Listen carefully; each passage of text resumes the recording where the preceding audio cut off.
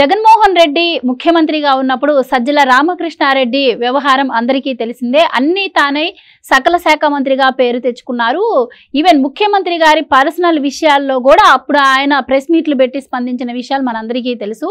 ఆ తర్వాత మరి ఎవరు కూడా అప్పట్లో ముఖ్యమంత్రిగా ఉన్నటువంటి జగన్మోహన్ రెడ్డి గారిని కలవాలన్నా కూడా ముందు సజ్జల రామకృష్ణారెడ్డి పర్మిషన్ తీసుకోవాలని కూడా ఆ పార్టీకి సంబంధించిన వాళ్ళే చాలాసార్లు చెప్పిన సందర్భాలు కూడా మనం విన్నాం. మరి ఇప్పుడు ప్రభుత్వం మారింది ఆ పార్టీకి సంబంధించిన చాలామంది కొంతమంది ప్రభుత్వ ఉద్యోగులు కావచ్చు ఎమ్మెల్యేలు కావచ్చు ఎంపీలు కావచ్చు కూడా ఆరోపణలు ఎదుర్కొంటూ ఉన్నారు. ముఖ్యంగా అందులో సజ్జల రామకృష్ణారెడ్డి అయితే చంద్రబాబు గారి ఇంటిపై దాడి కేసులో ముందస్తు బెయిల్కి వెళ్ళారు మరి సజ్జల రామకృష్ణారెడ్డి నాకు దీంతో ఎటువంటి సంబంధం లేదు అని చెప్తున్నారు. మరి ఆయనకి నిజంగానే సంబంధం లేదా? అసలు ఒక జర్నలిస్ట్గా ఉన్నటువంటి సజ్జల రామకృష్ణారెడ్డి ఈ స్థాయికి ఎలా ఎదిగారు? ఇలాంటి విషయాలన్నీ కూడా తెలుసుకుందాం. మన ముందున్నారు senior political analyst Madhusudan Reddy garu. నమస్కారం. నమస్తే అమ్మ. సార్ సజ్జల రామకృష్ణారెడ్డి జగన్మోహన్ రెడ్డి గారు అధికారంలోకి రాకముందు ఒక జర్నలిస్ట్గా ఉండేవాళ్ళు. సో ఆయన సలహాదారుగా నియమింపబడ్డారు జగన్మోహన్ రెడ్డి గారికి. ఆయన కేవలం సలహాదారుగానే కాకుండా సకల శాఖ మంత్రిగా కూడా పనిచేశారు అని చెప్పి అప్పట్లో పేరుండింది. ఈవెన్ సలహాదారులు అంటే గత ప్రభుత్వాల్లో మనం చాలా మంది చూసాం వాళ్ళ ప్రమేయం అంత ఉండకపోయేది. కానీ ఎందుకు జగన్మోహన్ రెడ్డి గారు ఈయనకి ఇంత ఇంపార్టెన్స్ ఇచ్చారు? అలాగే ఇప్పుడు ప్రభుత్వం మారాక ఆయనపై వస్తున్న ఆరోపణలతో నాకు ఎలాంటి సంబంధం లేదు అని చెప్పి ముందస్తు బెయిల్స్కి వెళ్తూ ఉన్నారు. ఇది ఎంతవరకు నమ్మొచ్చు? మీరేం చెప్తారు దీని గురించి? ఇప్పుడు సజ్జల రామకృష్ణారెడ్డి వాళ్ళ నాన్నగారు ఒక పోస్ట్ మ్యాన్ అమ్మ. సింహాద్రిపురం మండలంలో ఒక పోస్ట్ మ్యాన్. వాళ్ళ నాన్న కమ్యూనిస్టు. వీళ్ళాక ప్యాక్షనిస్ట్ కాదు. చదువుకున్నాడు. జర్నలిజం కంప్లీట్ చేసుకొని ఈనాడులో ఈనాడు పత్రికలో బాగానే పనిచేశాడు. ఆ తర్వాత ఈనాడు నుంచి సాక్షికి రావడం సాక్షిలో పనిచేస్తూ వాళ్ళ సాక్షి వాళ్ళ సొంత ఛానల్ కాబట్టి తన యో ఈనాళ్ళలో రంగరించినటువంటి అస్త్రశాస్త్రాలు ప్రావీణ్యంతో చిన్నంగా దగ్గరయ్యాడు ఆ కుటుంబానికి వీళ్ళకి సంబంధం లేదు.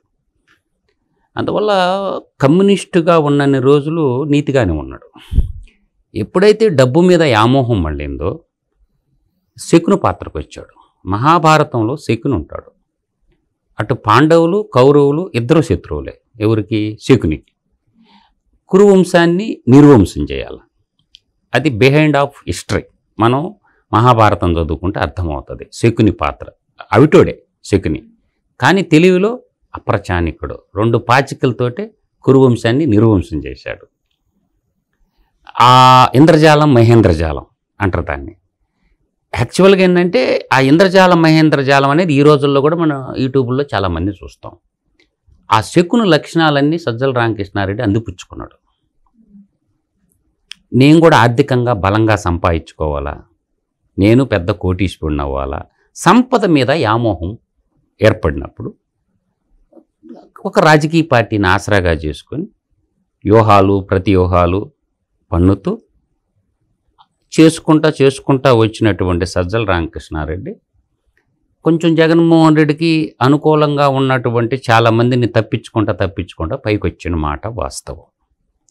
తర్వాత పరిస్థితికి ఎక్కడికి వచ్చిందంటే ఎమ్మెల్యేలకి పవర్ లేదు మంత్రులకి పవర్ లేదు.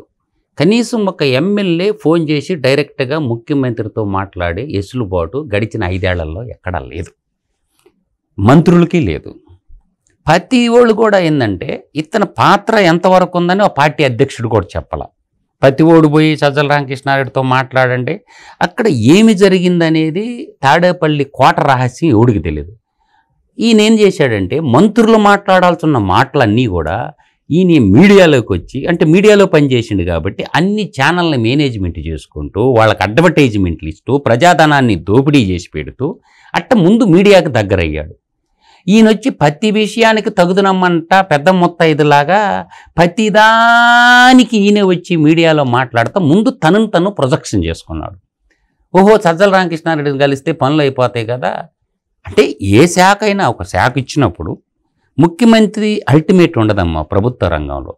మంత్రి మండలిలో ముఖ్యమంత్రి కూడా ఒక మంత్రి. కాబట్టి మంత్రి వాళ్ళ గురించి వాళ్ళకు కూడా లేదు మాట్లాడే కోసం. అన్నీ ఈయన మాట్లాడటం ఉండటం వల్ల ఇక్కడ ఏం జరిగిందంటే మొత్తం ఒక దందాకి తెరలైపోయాడు కాబట్టి తర్వాత పోలీస్ శాఖని గ్రిప్పులో పెట్టుకున్నాడు. పోలీసు డిపార్ట్మెంట్ని తన గుప్పిట్లో పెట్టుకున్నాడు. గుప్పిట్లో పెట్టుకొని ఆంధ్రప్రదేశ్లో ఈ కేసులు ఎస్సీ అట్రాసిటీ కేసులు ఎస్సీ ఎస్టీల మీద పెట్టొచ్చని దానికి పాత్రధారి సూత్రధారి వాడే. ఓ ఓయమ్మ ఈయన ముఖ్యమంత్రి దగ్గర ఉంటాడు కదా అని చెప్పి ఈ కింద ఉన్న స్టేషన్ హౌస్ ఆఫీసర్లు భయపడిపోయారు. స్టేషన్ హౌస్ ఆఫీసర్లు భయపడిపోయారు.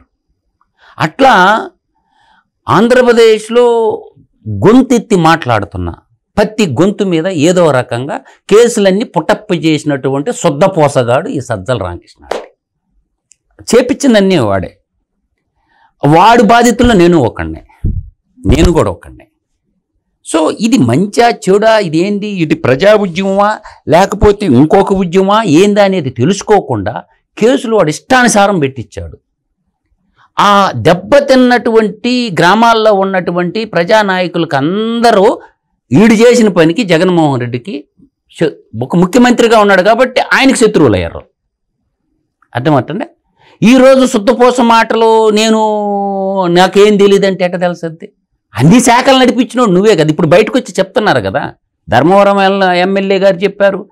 పోయినసారి ఆయన ఎవరు రాజమండ్రికి సంబంధించిన ఒక ఆయన బయటకు వచ్చి వారం రోజులు ఉన్న అపాయింట్మెంట్ దొరకనే లేదు అని అందరూ దుమ్మెత్తి పోస్తున్నారు కదా. అందువల్ల ఏంటంటే ఇతను శకుని పాత్ర నైస్గా మాట్లాడి శకుని పాత్ర పోషించాడు. ఆ తెలుగుదేశం పార్టీ ఆఫీస్ మీద చెప్పి చేసిండో చెప్పకుండా చేసిండో అర్థమైందా? దాడి చేపించిన దాంట్లో ప్రధాన ప్రథమ ముద్దాయి ఏ వన్ ముద్దాయి ఈడే. ఏ వన్ ఏ వన్ ముద్దాయి కావాల్సిన్నాడు వంద దాటిపోయిండు. కాబట్టి ఇలా హైకోర్టుకి ముందస్తు బెయిలుకు వాడు పాపం పండింది పండు పండంది చెట్టు నుంచి రాలదు ఆకు పండంది రాలదు వాడు పాపం బండి ఇవాళ హైకోర్టుకు పోయిండు. ఇప్పుడు మాలాంటి వాళ్ళం అందరం కూడా హైకోర్టుకు పోయే కదా బెయిల్ తెచ్చుకున్నది? వీడు చేసిన అరాచకత్వమే కదా? ఈ దుర్మార్గుడు చేసిన పనులకే కదా? చిన్న చిన్న నీళ్ళు కావాలని ధర్నా చేస్తే కేసులు. రోడ్లు పోయమంటే కేసులు ఇసుక దోపిడీ చేస్తున్నాడు గొంతెత్తిన పత్తి గొంతును నలిపేశాడు. ఏంది నీ జర్నలిజం తెలివితేటలని ఇప్పుడు బీఏ చదువుకున్న బేవర్సగాడికి అంతుంటే నేను మళ్ళీ మళ్ళీ అంట బీఏ చదువుకున్న బేవర్సగాడికి అంతుంటే కెమిస్ట్రీలో నిష్ఠాతులమైన మాకిన్ని తెలివితేటలు ఉండాలి? దేశం అంతా పనిచేసినోడికి మాకిన్ని తెలివితేటలు ఉండాలి? అందువల్ల వాడు చేసిన అరాచకత్వానికి ఈరోజు వాడికి తెలియకుండానే రాష్ట్ర వ్యాప్తంగా అన్ని గ్రామాల్లో శత్రువులను ఏర్పాటు చేసుకున్నాడు. అందువల్ల ఇవన్నీ పసిగట్టుకోకుండా ముఖ్యమంత్రి ఒక ఐదు మంది క్వార్టరైన్ పెట్టుకొని ఐదు మందిలో ఈడు ద్వారపాలకుడు. లోపల పోయి చెప్పుకోవాలంటే ఈడు ద్వారపాలకుడు ఈడు అడ్డం ఉండేవాడు. టోల్ గేట్ అనమాట ఈడు అడ్డం ఉండి లోపల వాళ్ళు బయటికి రాల. ఎవరు? ఐఏఎస్ చదువుకున్న ఒక ఆఫీసరు ట్రంప్ అవినాష్ గడ్ ఒకడు జగన్మోహన్ రెడ్డి సొంత తమ్ముడు వైఎస్ అనిల్ రెడ్డి ఒకడు కృష్ణమోహన్ రెడ్డి ఒకడు వాళ్ళంతా లోపల ఉండేవాడు. తెరచాట్లు లోపల ఉండేవాడు. రాజకోటలో మహామంత్రులుగా ఉండేవాడు.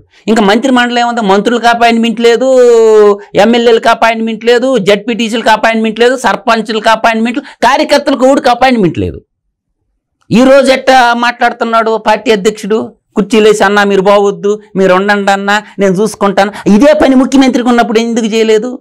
ఎప్పుడు కూడా ఏ పార్టీ అయినా ఒక గ్రామ సర్పంచి పార్టీ గ్రామ అధ్యక్షుడు గ్రామ సర్పంచ్ వాళ్ళే కదా గెలిచింది ఎయిటీ పర్సెంట్.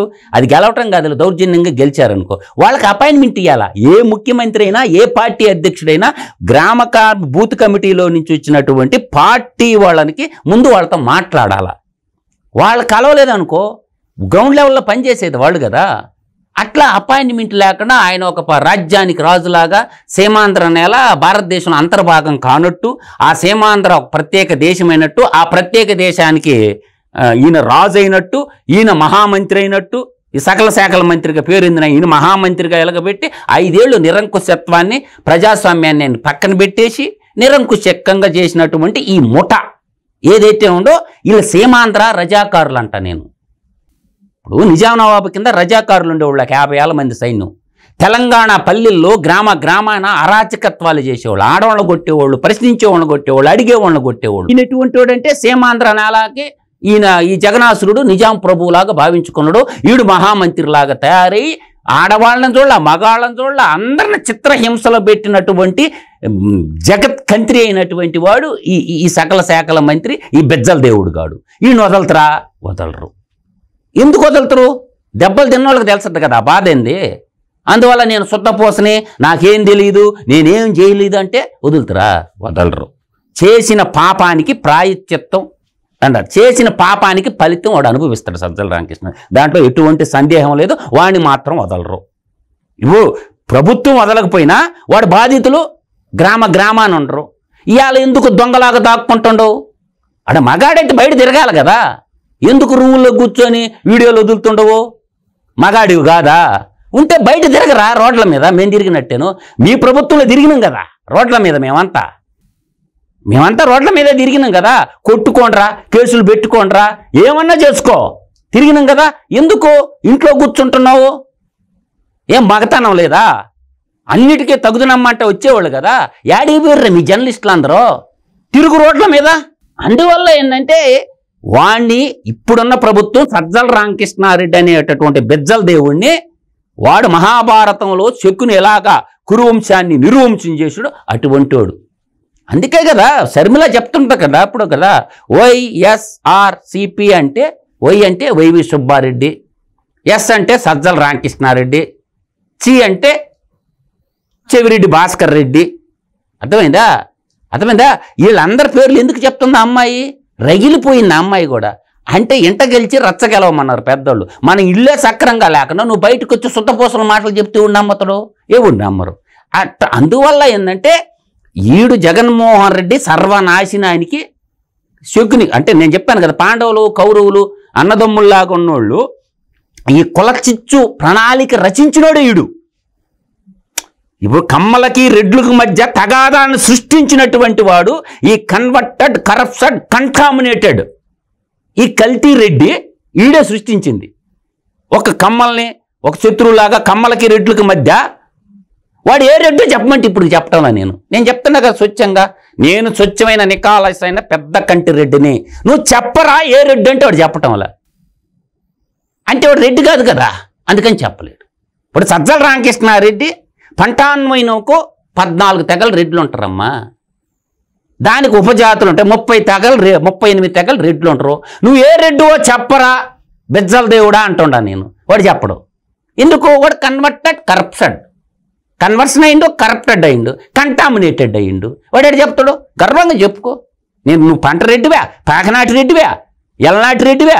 మొటాటి రెడ్డివా? దేశనూరు రెడ్డివా? బహుమంచి రెడ్డి అంటారు. భూమంచి రెడ్డివా? ఈ కొండ రెడ్డివా? లేకపోతే భిక్షగుంట రెడ్డివా? ఏ రెడ్డి? చెప్పి సావరా. నేను అందుకే చెప్తా రెడ్లు అనేవాడు ఎవరికైనా సరే. మూతి మీద మేసం ఉన్నవాడు ఎవడైనా సరే. నేను ఈ రెడ్డిని అని చెప్పమని ఏమోకుండా నేను చెప్తున్నా కదా గర్వంగా. నేను పెద్ద కంటి రెడ్డిని రా నువ్వే రెడ్డి చెప్పరంట. నాకు ఫోన్లు చేసేవాళ్ళతో కూడా నేను అడుగుతా. ఏ నువ్వు ముందు చెప్పరా ఏ రెడ్డోనా? రెడ్లంతా ఒకటెట్ట అవుతారా? దేశ ద్రోహులు దేశాన్ని కొల్లగొట్టిన వాళ్ళు దుర్మార్గులు నీకులు నికృష్టులు. నా అమ్మ తర్వాత నేను చేసేది భరతమాతని. భారతదేశ సంపదను లూటీ చేసిన లఫూట్గాళ్ళు ఈ- లుచ్చాగాళ్ళని ఈ లఫంగిగాళ్ళని అందరినీ మేము ఇంటికి రెస్పెక్ట్ చేస్తామా? మేము దేశభక్తులం ఈ భారతదేశ మూలవాసులం. మేము హిందువులం భారతీయులం. కాబట్టి మేము పెద్ద కంట్రీ రెడ్లు నువ్వే రెడ్డి చెప్తావు అండ్ ఇంకోటి ఇప్పుడు చంద్రబాబు గారి ఇంటిపై దాడి అండ్ పార్టీ ఆఫీస్ పై దాడి కేసులో కూడా కొన్ని సాక్ష్యాధారాలు దొరికాయి. అందులో భాగంగానే ఇది అంతా కూడా సజ్జల రామకృష్ణారెడ్డి డైరెక్షన్లోనే జరిగిందని చెప్పి మాట్లాడుకుంటూ ఉన్నారు. అందుకోగానే ఆయనకి నోటీసులు ఇవ్వడం కూడా జరిగింది. అండ్ ఇంకొక విషయం వచ్చేసి ఇప్పుడు గన్ల శాఖ డైరెక్టర్గా ఉన్నటువంటి వెంకటరెడ్డి కూడా ఇదంతా పెద్దల డైరెక్షన్లోనే జరిగింది. వాళ్ళు నాకు ఆదేశాలు ఇవ్వడం నేను చేశాను అంటున్నారు మరి పెద్దలు అంటే ఎవరు? మొత్తం ఈయనే కదా చూసుకున్నారు. సిగ్గుండక్కర్లేదా? నువ్వు ఆఫీసర్ రాబాయ్ నీకు సిగ్గుండక్కర్లేదా? ఏడ బట్టి పెట్టాడు సంతకం పెడతా? పోయే నువ్వు ఇప్పుడు ఐఏఎస్ ఐపీఎస్ ఐఆర్ఎస్ మన డిఫెన్స్ సర్వీసు. ఇప్పుడు డిఫెన్స్ సర్వీస్ కూడా ఎలా ఉంటుంది అంటమ్మా అది ఇరవై ఏడు పోస్టులు ఉంటాయి యూపీఎస్సీ సర్వీస్లో. Union public service commission. దాని కింద సెలెక్ట్ అవుతారు. ఫస్ట్ ఐఏఎస్ ఐఆర్ఎస్ ఐఆర్ఎస్ అంటే Indian revenue service. Income tax department విదేశీ రాయబారులు కూడా. ఐపీఎస్ మన అంతర్గత భద్రత కోసం ఉంటారు. ఐపీఎస్ ఆఫీసర్లు. తర్వాత ఐఎస్ఎస్ ఇండియన్ స్టాటిస్టికల్ సర్వీసెస్ ఉంటాయి. అట్లా డిఫెన్స్ సర్వీస్ సెక్టార్ ఇట్లా ఇరవై ఏడు సెక్టార్లు ఉంటాయి. వీళ్ళందరినీ సెలెక్ట్ చేస్తావు. యాడికి పోయిన ఉద్యోగమే కదా నువ్వు చేసేది. నువ్వు దొంగకు సద్దులు మోయటం ఎందుకు? దొంగలకు ద్వారాలు తెరవటం ఎందుకు? దొంగతనానికి సాగరించినోడు కూడా దొంగే కదమ్మా. అందువల్ల నువ్వు శుద్ధపోసం మాటలు ఇప్పుడు ఎందుకు మాట్లాడతారు మాట్లాడకూడదు. నువ్వు తప్పు చేసినావు. యాడో కోస్టల్ గార్డులో పనిచేసుకుంటున్నోడికి నిన్ను పిలిపించారు అంటే ఒక్కటమ్మా నిన్ను పిలిపించారు అంటే దొంగతనం చేయడానికే కదా. ఎక్కడో డిఫెన్స్ రంగంలో పనిచేసుకుంటున్నటువంటి దౌర్భాగ్యుడైనటువంటి అధర్మారెడ్డిని ఎందుకు తీసుకొచ్చారు? స్టేట్ గవర్నమెంట్లో ఊరు క్యాడర్ లేరా? దొంగతనం చేయటానికే కదా తిరుపతి లడ్డు కల్తీ చేయటానికే కదా తిరుపతి వెంకటేశ్వర స్వామి డబ్బులు కొట్టేయటానికే కదా తీసుకొచ్చింది. ఈడీ సిబిఐ కేసుల నుంచి తప్పించుకోవటానికి వాడు వాడుకోవటానికే కదా తీసుకొచ్చింది. ఎవడకు చెప్తారమ్మా వీళ్ళంతా ఇదంతా కడప గ్యాంగే. మీరు చూడండి రాష్ట్రాన్ని మొత్తాన్ని మంత్రులు పరిపాల. మొత్తం నేను చెప్పిన ఈ ఆఫీసర్లందరూ కడపోళ్ళే. చెడ్డ పేరు చెప్పడం. ఇప్పుడు కడప అంటే మీకు తెలుసమ్మా? అన్నమాచార్యుడిదే ఏ జిల్లా అమ్మా. కడప జిల్లానే. ఇవాళ ఇడిపోవచ్చు కానీ అన్నమాచార్యుడిదే జిల్లా. కాలజ్ఞాన్ని రచించిన బ్రహ్మంగారు దే జిల్లా. కవయిత్రి మొల్ల రామాయణ రాసిన కవయిత్రి మొల్లది ఏ జిల్లా. మహోన్నతులు పుట్టిన గడ్డమ్మ కడప. అటువంటి కడప దేవుడు గడప అంటారు. వెంకటేశ్వర స్వామి మొట్టమొదట గడప దేవుడు గడప. కోదండరామస్వామి ఆలయం కట్టిన ఒంటిమిట్ట ఆలయం ఎక్కడుంది? ఒకప్పుడు భక్తికి శక్తికి ఏమా ఏమా రెడ్డి ఎటువంటి చరిత గల్లటువంటి నేలని కలుషితం చేసి పొల్యూషన్ చేసి కన్వర్షన్ చేసి కంటామినేటెడ్గా ఎవరు మార్చారమ్మా? వీళ్ళందరూ చూసుకోండి. ఇప్పుడు వాసుదేవరెడ్డి బేవరేజ్ కార్పొరేషన్ ఆయన ఎక్కడి నుంచి వచ్చిండు? రైల్వే నుంచి తీసుకొచ్చారు. ఏం ఏపీలో ఆపేశారు లేరా? ఏ రైల్వే నుంచి ఒకడిని? కోస్టల్ గార్డ్ నుంచి ఒకడిని? డిఫెన్స్ నుంచి ఒకడిని? డిఫెన్స్ నుంచేమో తిరుమల దేవస్థానం ఈ ఆధర్మారెడ్డి తర్వాత ఈయనేమో కోస్టల్ గార్డు నుంచి ఈ వెంకటరెడ్డిని. తర్వాత రైల్వే నుంచి నుంచేమో వాసుదేవరెడ్డిని. వీళ్ళందరిని ఎందుకు తీసుకొచ్చారు రాబాయి మీరు? వీళ్ళంతా ఏ జిల్లా వాళ్ళు? మొత్తం కడప జిల్లా వాళ్ళే. కృష్ణమోహన్ రెడ్డి ఏ జిల్లా వాడు? కడప జిల్లా వాడే. ఇంకా రాష్ట్రాలు ఇంకా పదమూడు జిల్లాలోనే. పదమూడు జిల్లాల ఆఫీసర్ లేరా? సిన్సియర్స్ లేరా? వీళ్ళందరూ ఏకమైపోయి ఐపీఎస్ వాళ్ళని జైలు పాలు చేస్తుంటారు. తర్వాత పోలీస్ శాఖని దేవరాయల శాఖని మొత్తాన్ని సర్వనాశనం చేసిండు. ఈడు ఈడు చే- ఈడు నేర్చుకున్న జర్నలిజం ఇదా? జర్నలిజం అంటే ప్రజలందరి పక్షాన గళమెత్తి మాట్లాడవు అందువల్ల ఈ బిజ్జల దేవుడు సకల సంక్షోభాలకి సకల దరిద్రాలకి మూడు రాజధానులు ఏందమ్మా? ఒక అడ్వైజర్గా ఉండి ప్రధాన సలహాదారుడిగా ఉన్నటువంటి వాడివి. నువ్వు ఏం చెప్పాలా? ఇది తప్పు అని చెప్పాలా? నూట నలభై ఐదు కోట్లున్న భారతదేశానికి ప్రపంచంలో అత్యధిక జనం ఉన్న దేశానికి ఒకటే రాజధాని న్యూఢిల్లీ ఇరవై తొమ్మిది రాష్ట్రాల్లో అన్ని రాష్ట్రాలకు ఒకటే రాజధాని. అర్థమవుతుందా? ఇటు ప్రధాన సలహాదారుడు సలహా ఇవ్వాల అన్నీ తానై సర్వం తానై అన్నీ వ్యవహరించడం మంత్రులు మాట్లాడి ఇప్పుడు సుచరిత మేడం ఉందమ్మా. మంచి మేడం బాగా చదువుకున్నది. సజ్జల రామకృష్ణారెడ్డి గారు పెద్ద చదువు చదివింది. సుచరిత గారు. నువ్వు బిఏ చదువుకున్న ఆఫ్టర్ ఆల్ వనితా మేడా ఉన్నది. చేయనిచ్చినావురా శాఖ నువ్వా?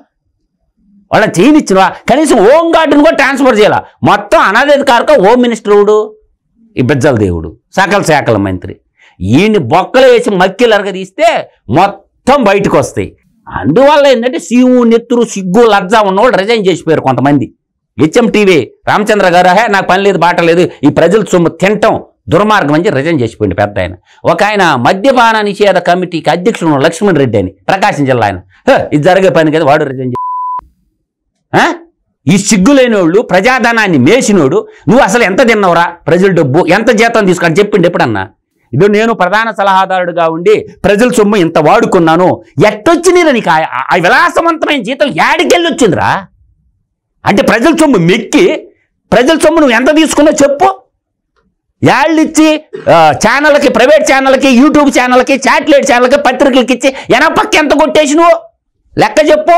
ఇమ్మీడియట్గా ఇన్కమ్ ట్యాక్స్ రైడ్ జరగాల. సజ్జల రామకృష్ణారెడ్డి మీద ఐటీ రైడ్స్ కానీ జరిగితే వాడు హైదరాబాద్లో ఎక్కడెక్కడ మణికొండలో వాడు కొంప ఉండేది మియాపూర్లో ఉండే ప్లాట్లు మొత్తం ఐటీ రైడ్స్ జరిగితే సజ్జల రామకృష్ణారెడ్డి మీద యాడ్ నుంచి వచ్చిందిరా ఈ డబ్బు అంతా వాళ్ళ కొడుకుల పేరు మీద కోడళ్ళ పేర్ల మీద ఎక్కడెక్కడ హైదరాబాద్లో ఉండే ప్రాపర్టీస్ అని ఇమ్మీడియట్లుగా ఇప్పుడున్న తెలుగుదేశం ప్రభుత్వం ఆ కేసుతో పాటు ఏసీబీని ఏసీబీని యాంటీ కరప్షన్ బ్యూరోని ముందు పంపించాలా?